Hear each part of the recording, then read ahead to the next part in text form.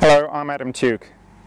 At school I was thinking of geology and mining as a career, but in those days mining in the UK really only involved coal and that wasn't terribly appealing.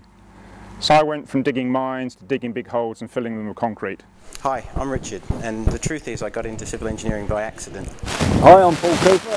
I left the Royal Navy and um, fell into civil engineering. Hi, I'm Ben. I worked with my father in school holidays on sites. Hello, I'm Jim. I got into civil engineering almost by mistake actually. I reckon civil engineering was like Lego on steroids and I thought that's gotta be for me. Hi, I'm Beth and I'm doing industrial placement with Jackson Civil Engineering. Well, growing up, I was always interested in structures, bridges and skyscrapers and how they really worked. Hi, I'm Brian. The reason I got into civil engineering was as a kid I played with Lego. Now I still do the same, they're just bigger bits. Hi, I'm Aston and I'm an engineer. I didn't really get into engineering, engineering sort of came and found me.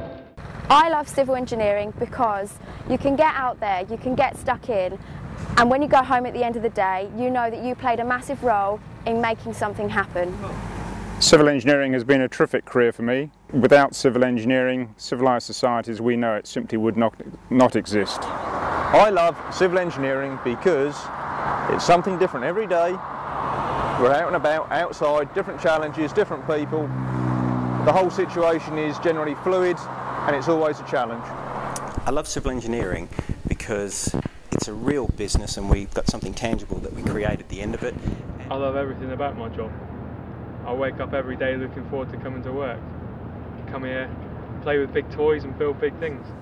What I love about civil engineering is every day is different. You get given challenges and you have to overcome them. And even now I still get a buzz from handing projects back to clients on time and to budget.